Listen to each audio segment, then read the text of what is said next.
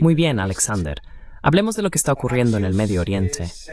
Axios está diciendo que va a haber una gran represalia iraní que llegará, ya sea el lunes, martes o miércoles. Axios está convencido de que va a suceder a principios de la semana. Creo que dijeron el lunes, citando sus fuentes. El Wall Street Journal está diciendo que Irán va a tomar represalias. Una verdadera represalia, no algo como lo que vimos en abril, cuando el consulado iraní fue atacado en Siria. Tenemos a muchos oficiales militares estadounidenses en el Medio Oriente planificando para este gran ataque iraní. ¿Cuál es tu percepción de las cosas? Parece que los mercados están colapsando en todas partes y hay advertencias de viaje. ¿Cómo ves esto en este momento? Parece que vamos a tener algo grande en los próximos días, tal vez un par de semanas. ¿Quién sabe? Es difícil cronometrar estas cosas.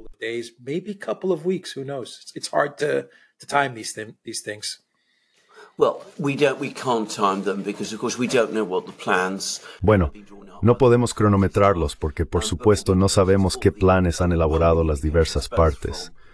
Pero todos los indicios, tanto de los Estados Unidos como de Irán mismo, sugieren que una respuesta importante de Irán está en camino. Ahora, voy a decir algunas cosas sobre el momento. Los iraníes están convocando una reunión de la Organización de Estados Islámicos. Supongo que probablemente querrán calibrar su respuesta para alinearse con esa reunión. Querrán que asistan tan países ISIS como sea posible, querrán una gran muestra de apoyo. Tal vez quieran que eso ocurra antes de que tenga lugar la respuesta militar real.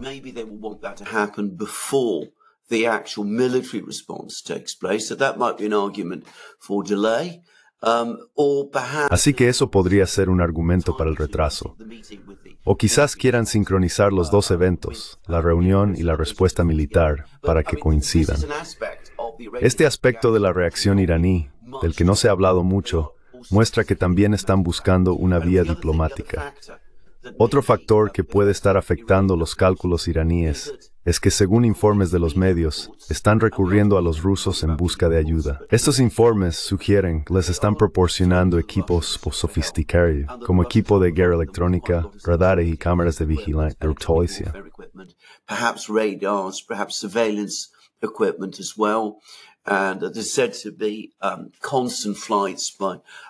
Se dice que hay vuelos constantes de aviones rusos a Teherán. Si este equipo está en camino, los iraníes no solo querrán recibirlo, sino también estar en posición de usarlo. En otras palabras, querrán ponerlo en servicio antes de que ocurra la respuesta. Se avecina una gran respuesta y ahora estamos al borde de una guerra total. No creo que nadie pueda tener dudas sobre eso. Los últimos informes indican que el ministro de Relaciones Exteriores de Jordania visitó Teherán. Aparentemente, suplicó a los iraníes que mostraran moderación.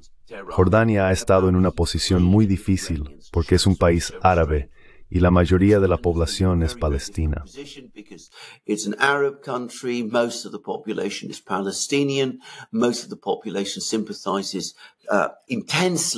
La mayoría de la población simpatiza intensamente con palestinos en Gaza y en otros lugares. Es que están muy enojados por esto. También están muy enojados hecho de que el gobierno jordano en abril ayudó a los Estados Unidos a derribar misiles iraníes mientras volaban durante el primer ataque con misiles iraníes. Al mismo tiempo, el gobierno jordano tiene mucho miedo de que si se queda de brazos cruzados y permite que los misiles iraníes vuelen sobre su territorio sin tomar medidas, los israelíes puedan responder. Así que está atrapado entre la espada y la pared y ha estado rogando a los iraníes que se detengan. El G7 también ha estado rogando a los iraníes que se detengan. Los iraníes aparentemente están diciendo a todos que esto ha ido demasiado lejos. Los israelíes han demasiado lejos hasta Look, it's gone too far. The Israelis have gone too far this time. They crossed a red line.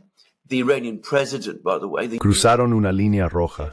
El presidente iraní, por cierto, el nuevo presidente iraní, Raisi, ha dicho lo mismo, que los israelíes cruzaron demasiadas líneas rojas al llevar a cabo un asesinato el mismo día de su inauguración en Teherán. Declaró que esta vez Irán siente que no tiene otra opción que responder feroz y agresivamente, Y no tengo ninguna duda de que eso es lo que van a hacer.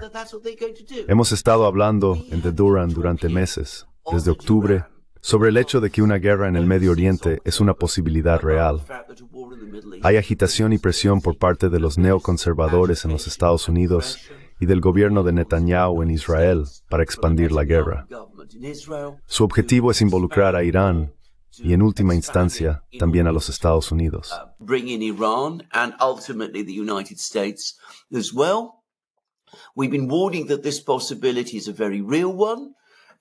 Hemos estado advirtiendo que esta posibilidad es muy real.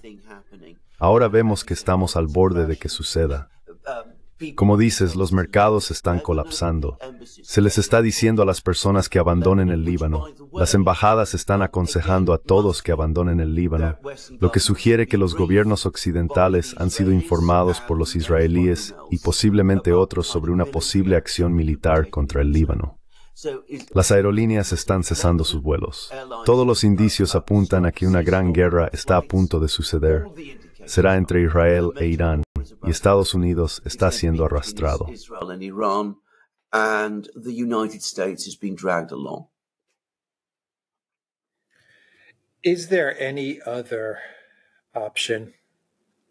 ¿Hay alguna otra opción aparte de una gran represalia para Irán? Sé que acabas de decir que Irán siente que no tiene otra opción. Han declarado que no tienen otra opción. El presidente ha dicho lo mismo. He estado tratando de pensar ¿Hay alguna otra manera en que Irán podría tomar represalias sin perder la cara? No puedo pensar en una. Creo que fue el 13 de abril, cuando Irán envió los drones y misiles con aviso de 5 o 6 horas, para que Israel y los países circundantes pudieran rastrear esos misiles y derribarlos. Eso no fue una represalia, fue más una advertencia.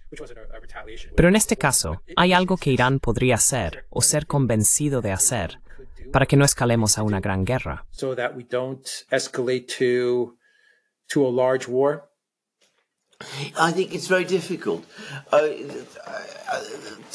Creo que es muy difícil. Para hacer un punto que hemos hecho muchas veces en muchos programas, los iraníes no han querido una guerra. No han estado buscando una guerra. La inteligencia estadounidense e israelí dice que Irán no estuvo involucrado en el ataque de Hamas a Israel el 7 de octubre. Irán no ha tomado ninguna acción militar de ningún tipo contra Israel hasta el momento en que su propia embajada en Damasco fue atacada. Se vieron obligados a tomar represalias y le dijeron a los estadounidenses con días de antelación cuándo tendría lugar la represalia. Les dieron un aviso amplio y lo llevaron a cabo de tal manera que básicamente se contuvieron. Han intentado hablar con sus aliados, Hezbollah, para moderar su respuesta contra Israel también. Han hecho todo lo posible hasta donde puedo ver para evitar una guerra total.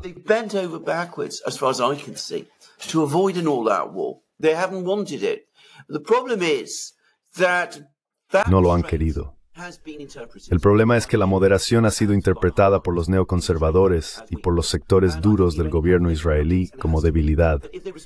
Creo que el cálculo iraní ahora es que si responden de alguna otra manera, como llevar a cabo una campaña encubierta para eliminar agentes israelíes en todo el Medio Oriente, no será efectivo, porque eso no será visible y tomará mucho tiempo no corregirá la apariencia de humillación que Irán ha sufrido como resultado del último ataque. No será suficiente para restaurar la disuasión, porque cada vez que Irán ejerce moderación o actúa encubiertamente en respuesta a un ataque público de Israel, se ve como debilidad.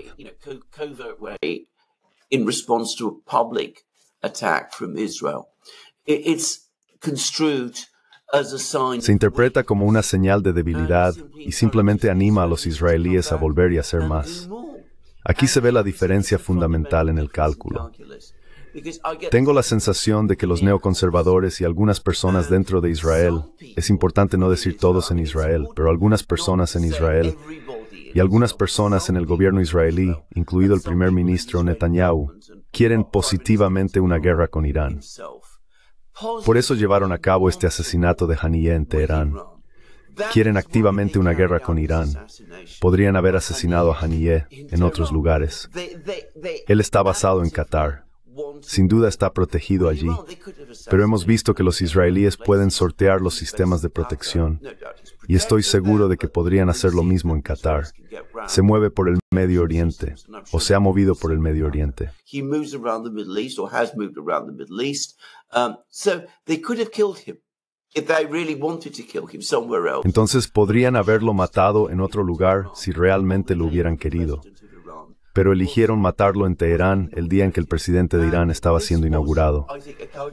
Esto fue, creo, una señal calculada para los iraníes.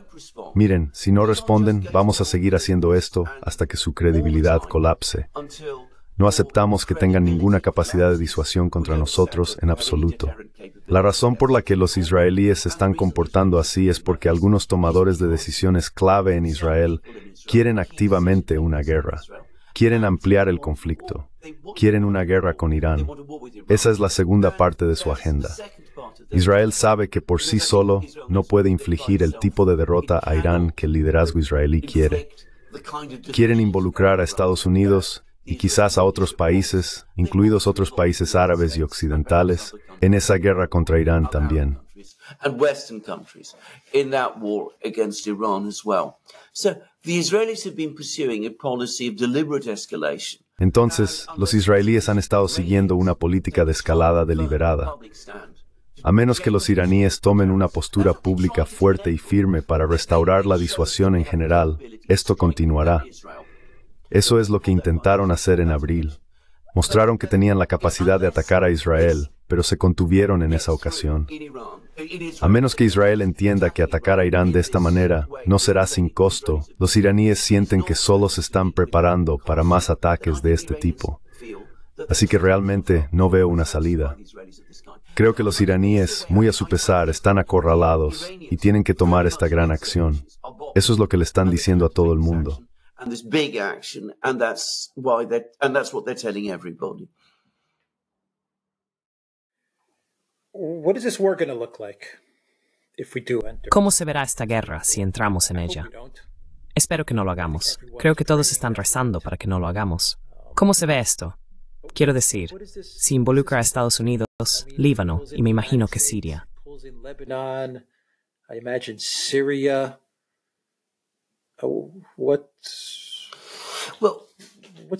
Be? ¿Cómo va a ser esto? Quiero decir, ¿Europa se va a involucrar? ¿El Reino Unido se va a involucrar? ¿Tienes alguna idea?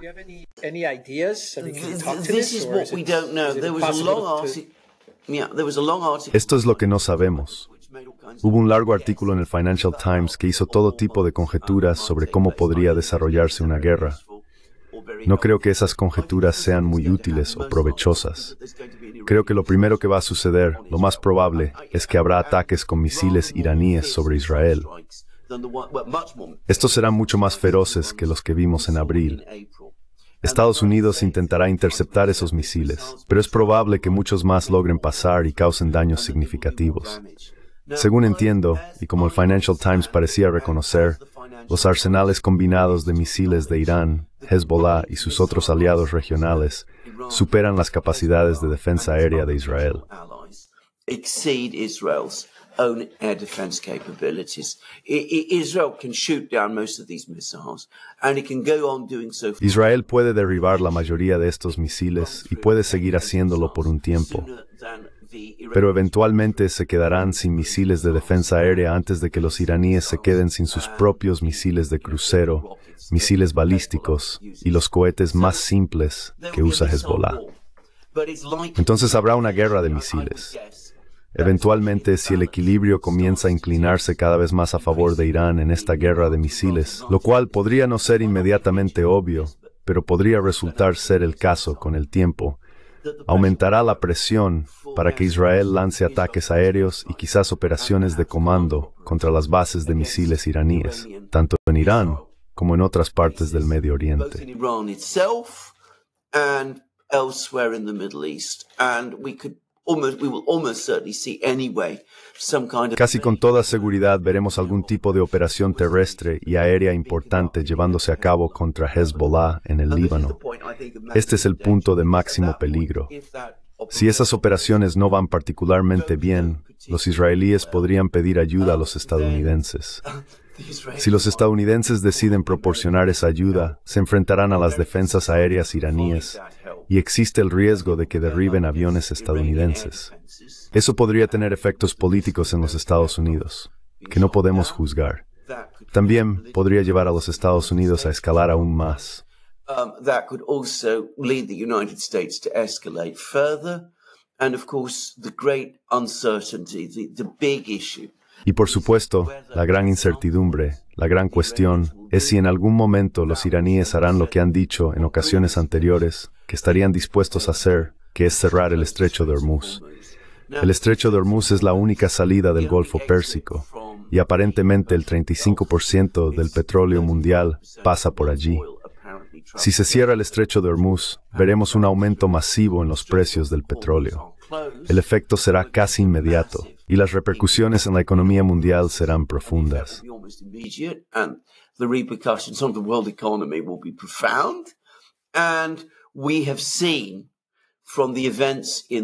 Y hemos visto en los eventos en el Mar Rojo, donde Estados Unidos no ha podido detener a los hutíes de destruir o golpear barcos mercantes que viajan por el Mar Rojo, que si los hutíes pueden hacer eso y Estados Unidos no puede detenerlos, entonces no hay duda de que los iraníes pueden hacer lo mismo en el estrecho de Hormuz, que es mucho más estrecho y fácil de cerrar. Sin embargo, creo que los iraníes no querrán hacer eso de inmediato porque es un gran elemento disuasorio que tienen. Además, los estados árabes del Golfo, especialmente Arabia Saudita, estarán extremadamente enojados y molestos si se cierra el estrecho de Hormuz. Para los saudíes, el estrecho de Hormuz es su línea vital económica.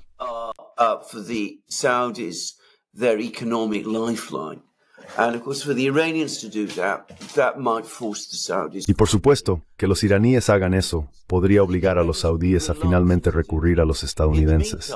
Así que creo que los iraníes serán reacios a dar ese paso. Mientras tanto, tendremos que ver cómo responden los estados del Golfo si hay una guerra de misiles y aérea permitirán que los aviones israelíes sobrevuelen su territorio para lanzar ataques contra Irán. ¿Qué pasará si lo hacen? Inicialmente, probablemente sería una guerra de misiles y una guerra aérea. Sin embargo, también es posible que haya una operación terrestre de Israel en el Líbano. Para ser franco, no conozco los detalles y no creo que nadie fuera de los estados mayores de los dos países y quizás de los Estados Unidos sepa exactamente cómo se desarrollará.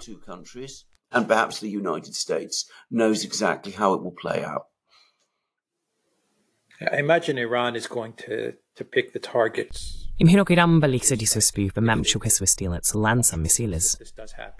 I imagine they're going to pick the, the targets very carefully. Well, I think so. Because the problem with the problem is Bueno, creo que sí. El problema es que si estamos en una situación de guerra, y esto es una guerra, por cierto, que a diferencia de todas las demás guerras en el Medio Oriente, las guerras árabe-israelíes en el 48, 56, 67 y 73, tiene el potencial de prolongarse durante meses y meses. Muy bien podríamos encontrarnos de nuevo en una guerra de desgaste. De hecho, ese podría ser el tipo de guerra que los iraníes elijan librar contra Israel, porque saben que Israel es un país pequeño con recursos limitados. Estados Unidos ya está sobreextendido en muchos lugares. Si estamos involucrados en una guerra larga,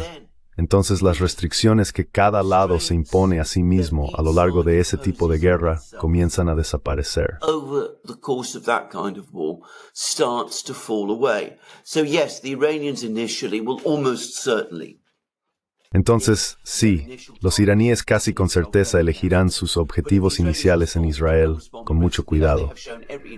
Pero si los israelíes responden agresivamente, como han mostrado todas las indicaciones de que están preparados para hacerlo, es probable que con el tiempo los iraníes comiencen a expandir los objetivos en Israel que buscan atacar. Y luego, por supuesto, está la otra incertidumbre. cerrando el estrecho como el punto máximo al que importar eventualmente Y mente, repuesto siempre ha existido la que Israel mismo posee armas nucleares.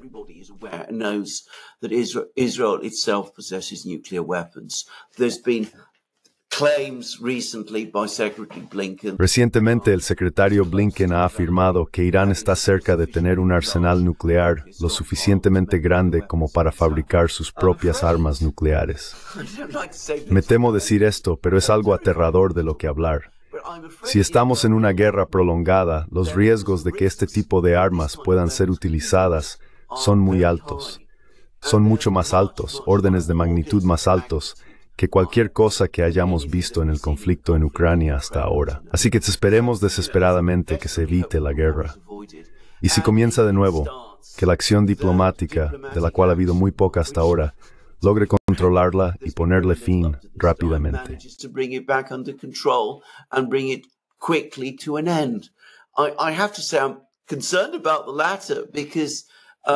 Tengo que decir que me preocupa lo último, porque para poner fin a una guerra después de que comience, los aliados de Israel, que ha sido el principal impulsor de la escalada, necesitan finalmente trazar líneas rojas con Israel. Necesitan decirle a Israel, mira, simplemente no puedes seguir haciendo esto. Si continúas, vamos a tener que tomar medidas contra ti. No queremos hacerlo, pero vamos a tener que hacerlo. Iremos al Consejo de Seguridad. Empezaremos a hablar de sanciones del capítulo 7 y ese tipo de cosas. En ausencia la lógica que Israel ha estado siguiendo de escalar sin fin, probablemente continuará, al menos mientras el gobierno actual permanezca en el cargo.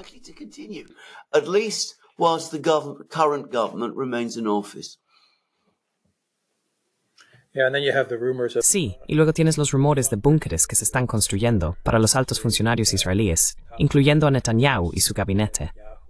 Eso no es una buena señal.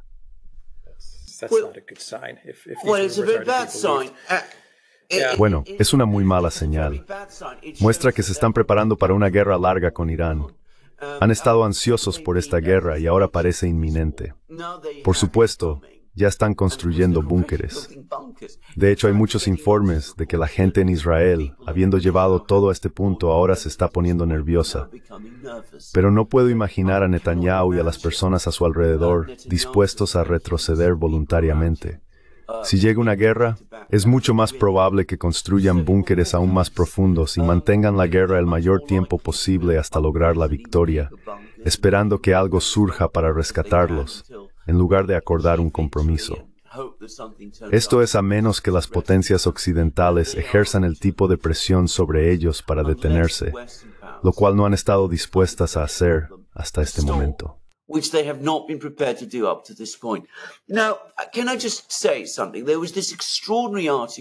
Ahora, ¿puedo decir algo?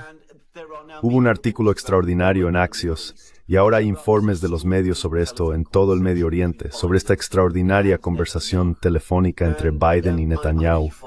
Sé que sigues, obviamente, escuchas mis programas, pero he estado diciendo que una de las cosas sobre el asesinato de Hani en Teherán fue que me pareció un desaire extraordinariamente calculado y muy cínico llevado a cabo por Netanyahu contra Biden. Había venido a Washington, pronunciado su discurso ante el Congreso e hicimos programas diciendo lo increíblemente beligerante y confrontacional que fue su discurso. Claramente señalaba que Netanyahu sentía que las restricciones habían desaparecido y que iba a ir a la guerra.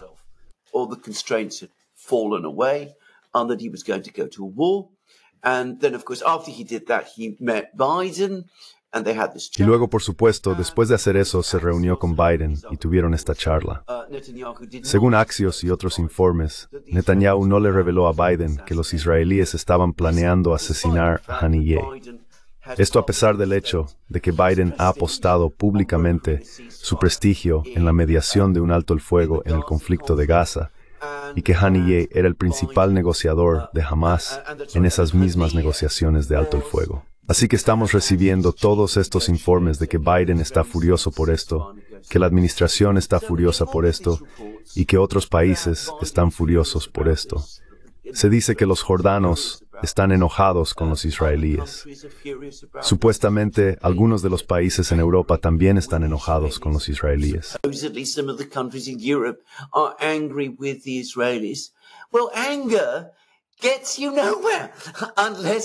Bueno, la ira no te lleva a ninguna parte a menos que estés preparado para realmente empezar a hacer algo. Entonces, Haniyeh es asesinado. ¿Qué hace Estados Unidos? Dice públicamente que condenan esto, que piensan que es un paso absolutamente incorrecto e indignante, y aseguran a los iraníes que no estuvieron involucrados y se distancian completamente de ello. No, dicen que van a seguir apoyando a Israel y protegiendo a Israel contra las respuestas iraníes. Al mismo tiempo, difunden estas historias a través de Axios y otros medios, contándonos sobre esta conversación enojada entre Biden y Netanyahu. Los israelíes pueden ver la absurda inconsistencia de esto. Es como un maestro en una clase con un alumno que se está comportando mal constantemente y el maestro solo le mueve el dedo al alumno que ha hecho otra cosa terrible.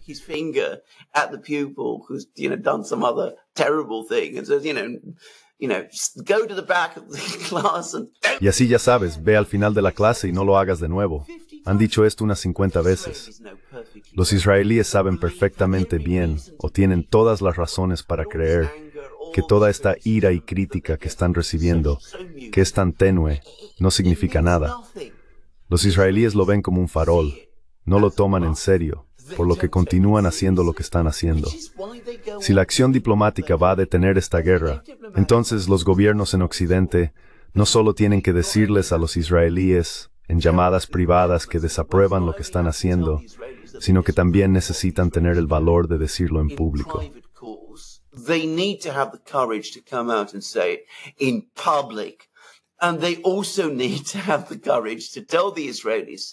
Y también necesitan tener el valor de decirles a los israelíes que si lo hacen de nuevo, no solo estarán solos, sino que Occidente tomará medidas para asegurarse de que no puedan hacerlo de nuevo. Hasta que eso suceda, los israelíes verán esto como un farol y seguirán haciendo lo que están haciendo. Debido a que los gobiernos occidentales no han llegado a ese punto, como vemos, están enviando todos sus activos militares para defender a Israel, solo confirmando a los israelíes que toda esta ira es un farol y no significa nada.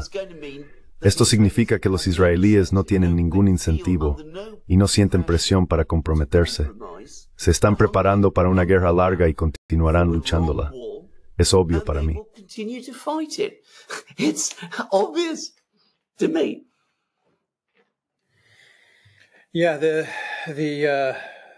Sí, la diplomacia de la Casa Blanca de Biden nunca va a suceder. Si va a haber alguna diplomacia que pueda desescalar la situación, tendrá que venir de China, Rusia o países del Medio Oriente como Arabia Saudita. Pero eso tampoco va a suceder no podrán ejercer influencia sobre Israel. Solo los Estados Unidos pueden hacer eso, ni siquiera Europa. Europa hará lo que los esminos le ordenen. Punto. Fin de la historia. Lo que los Estados Unidos le digan a Europa que haga, lo harán, incluida la UEF. Lo mismo ocurre con el Reino Unido. El Reino Unido tomará sus órdenes de los Estados Unidos.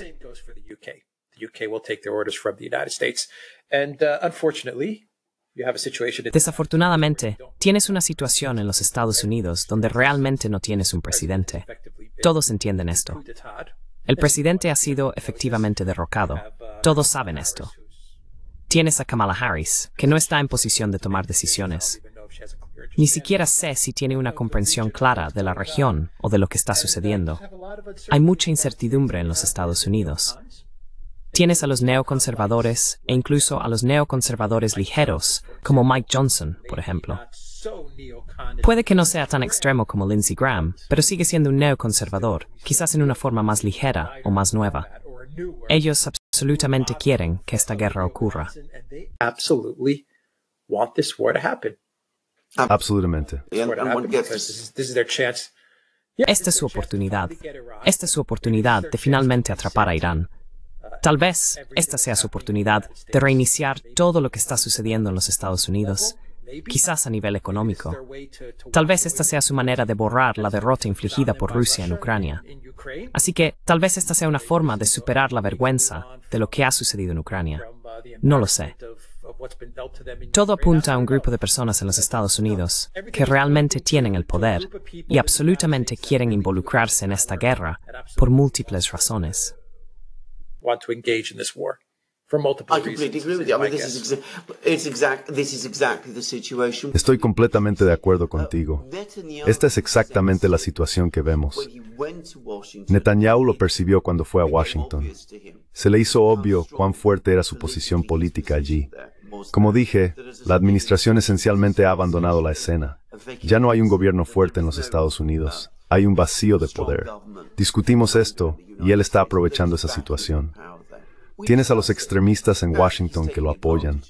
Si escuchas a Lindsey Graham, no solo las declaraciones que ha estado haciendo en los últimos días, sino también su proyecto de ley propuesto para autorizar la acción militar directamente contra Irán por parte de los Estados Unidos.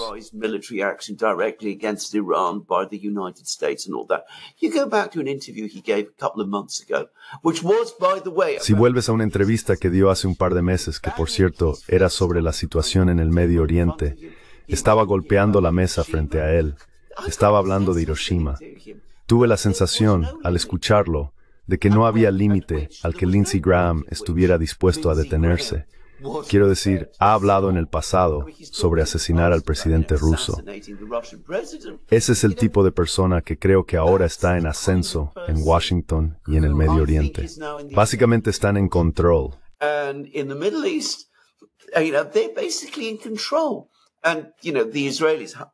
Y ya sabes, los israelíes bajando a sus búnkeres, el liderazgo bajando a sus búnkeres, te dice que no están preparados para comprometerse. La guerra se intensifica si las ciudades son devastadas sobre ellos.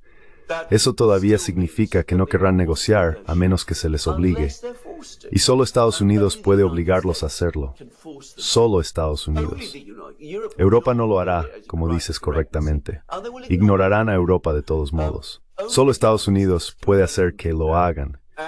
Y Estados Unidos en este momento está en una posición sin liderazgo. Por eso estamos donde estamos. Muy bien, lo dejaremos aquí. TheDuran.locals.com. Estamos en Rumble, Odyssey, BitChute, Telegram, Rockfin y Twitter. Y vayan a la tienda de Duran. Compren algo de mercancía como el polo que Alexander está usando hoy y la camiseta que yo también estoy usando hoy. Encontrarán el enlace para eso en la caja de descripción abajo. Cuídense.